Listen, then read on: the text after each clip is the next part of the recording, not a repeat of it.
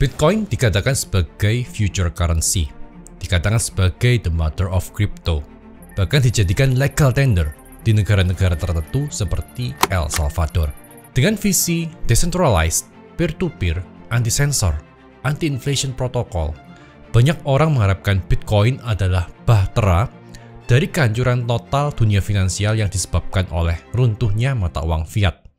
Dan banyak pihak yang berusaha membunuh dan menghancurkan Bitcoin. Di video ini kita akan bahas gimana cara kita membunuh Bitcoin. Video ini dipersembahkan oleh Pintu. Ada 5 benefit buat kamu yang stake BTU di Pintu. Kamu akan dikirimin form via email tiap minggu untuk dapat bonus tambahan. Misalnya di tanggal 9 Desember kamu bisa mendapatkan tiket XX1, tanggal 16 kamu bisa dapat tiket VIP lounge senilai 1,2 juta. Di tanggal 23, kamu bisa mendapatkan voucher MAP senilai Rp100.000. Install pintu Stick BTU dengan link yang ada di bawah.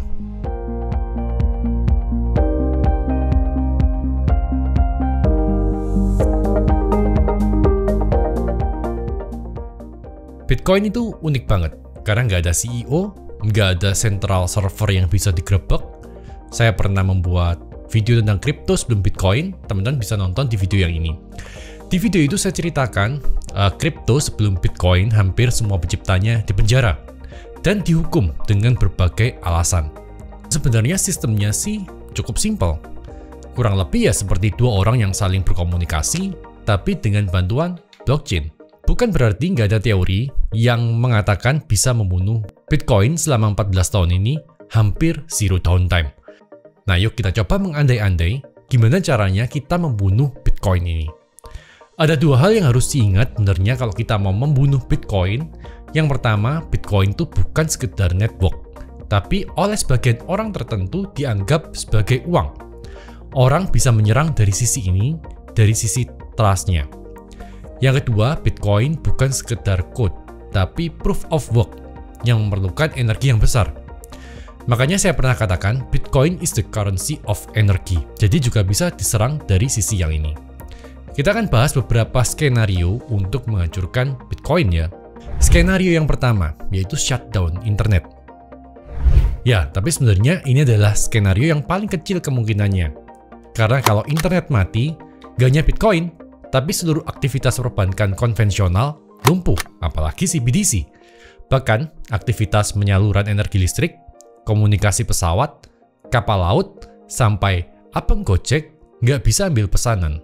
Jadi, shutdown internet itu adalah action bodoh kalau hanya untuk membunuh Bitcoin. Lagi pula, nggak mungkin jaringan internet sedunia dihancurkan. Kalaupun dihancurkan, internet itu udah ada sejak 1975. Waktu itu dibuat oleh militer Amerika dan masih bernama ARPA.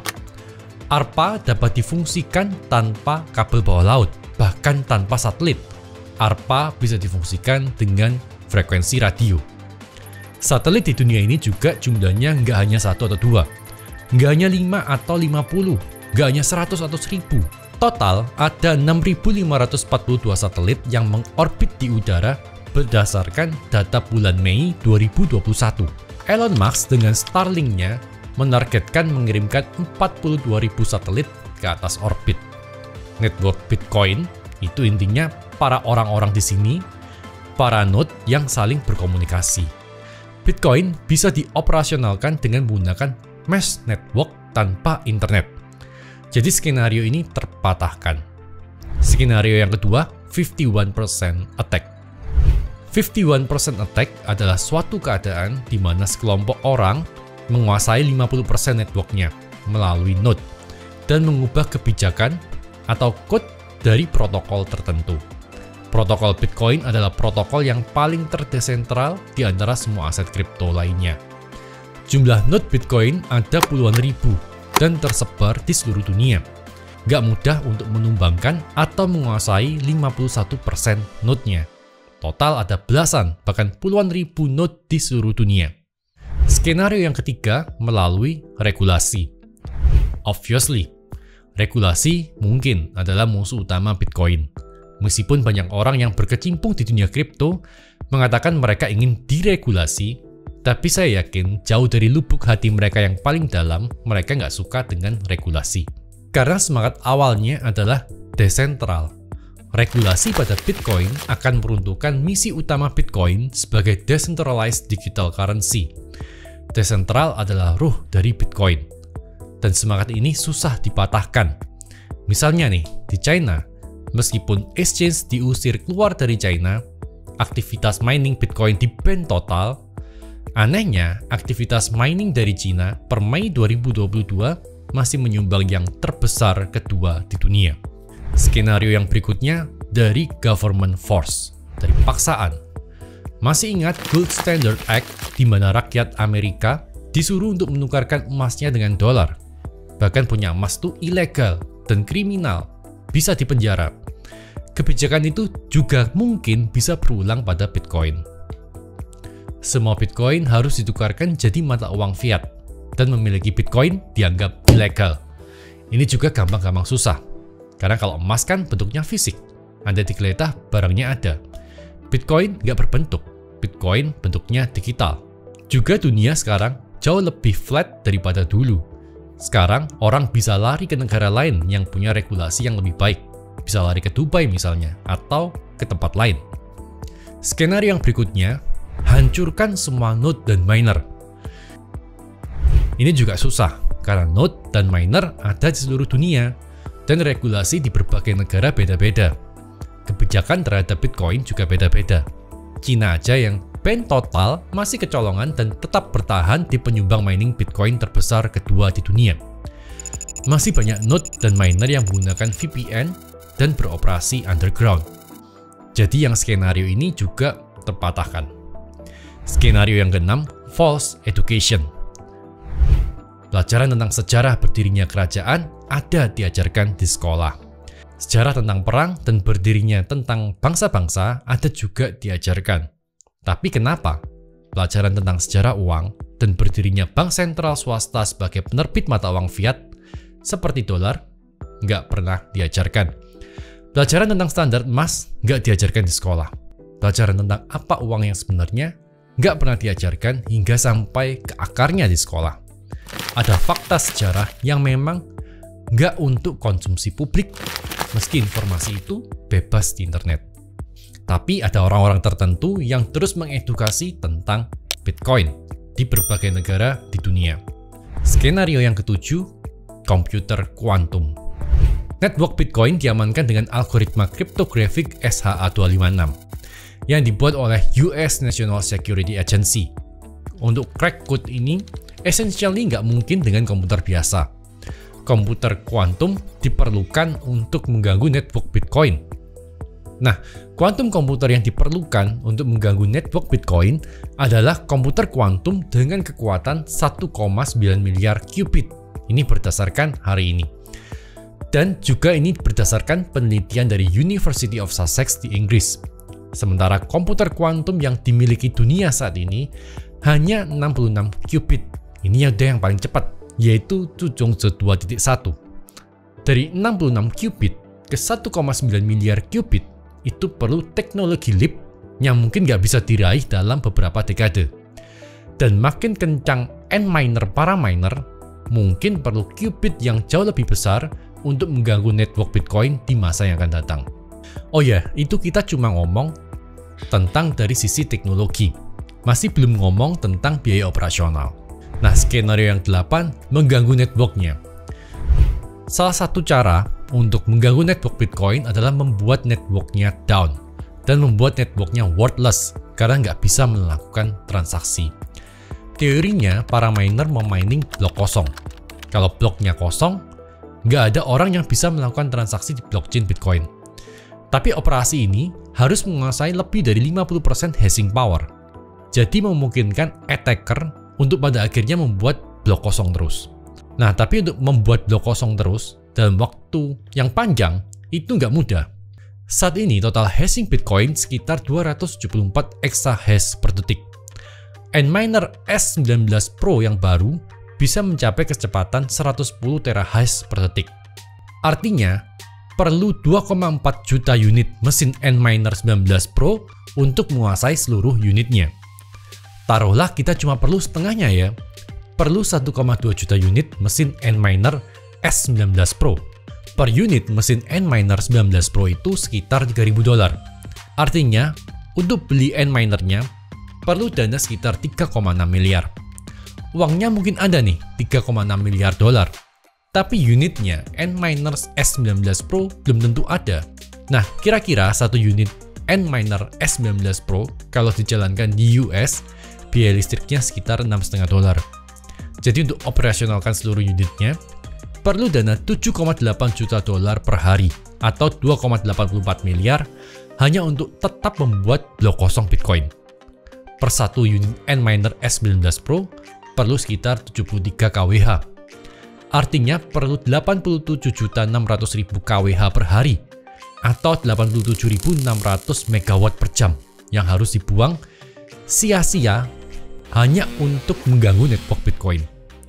Bandingkan dengan daya produksi PLTU Python yang hanya 29.000 MW dan semuanya harus dibuang hanya karena Bitcoin. Kebodohan macam apa ini? Skenario yang ke-9, devaluing. Devaluing artinya membuat nilainya menjadi nggak berharga. Salah satu caranya adalah mengubah Bitcoin menjadi proof of stake. Saat ini Bitcoin dianggap berharga karena untuk menambangnya perlu memecahkan algoritma yang sangat sulit dan energi yang besar. Teman-teman pernah nonton video saya tentang uang masa depan? Di sana saya menjelaskan tentang dua jenis uang, yaitu easy money dan hard money, isi money mudah dibuat lagi, misalnya mata uang fiat atau komoditas lain yang nggak langka, seperti kertas misalnya. Hard money susah untuk didapat dan hampir nggak mungkin dibuat lagi, misalnya emas dan bitcoin. Bitcoin nggak bisa dibuat lagi. Memang semua orang bisa mengambil dan mencuri ide bitcoin. Tapi untuk membuat bitcoinnya sendiri itu nggak bisa. Dan jumlahnya tetap 21 juta koin, tidak lebih dan tidak kurang. Ini yang akhirnya membuat Bitcoin jadi ultra hard money. Karena jumlahnya tetap, penambahan supply-nya predictable melalui halving. Dan seberapa kencang alat tambang yang dipakai, reward blocknya masih dihasilkan dalam jangka waktu yang sama karena ada difficulty adjustment, yaitu 10 menit per blok. Beda dengan emas, supply maksimalnya misterius. Dan dengan bertambah majunya teknologi pertambangan, emas bisa aja ditambang dengan lebih mudah, dan perusahaan tambang mengenjot produksinya, yang akhirnya membuat market oversupply. Nah, ini pernah terjadi saat duit pakai silver standard ala Spanyol, di mana Spanyol menemukan tambang baru, kemudian mengenjot produksinya, dan harga perak jatuh. Inti dari membunuh Bitcoin adalah dengan membuatnya nggak berharga lagi. Cara paling ampuh ya, dipaksa pindah ke proof of stake. Nah, tapi untuk pindah ke proof of stake itu nggak gampang, karena masih perlu persetujuan node yang jumlahnya puluhan ribu di seluruh dunia. Untuk pindah, harus ada developer yang mengajukan Bitcoin Improvement Proposal atau BIP, yang kemudian nanti diaudit oleh para editor. Setelah diaudit, proposal harus mendapatkan vote 95% dari node dan miner. Skenario yang berikutnya, fork.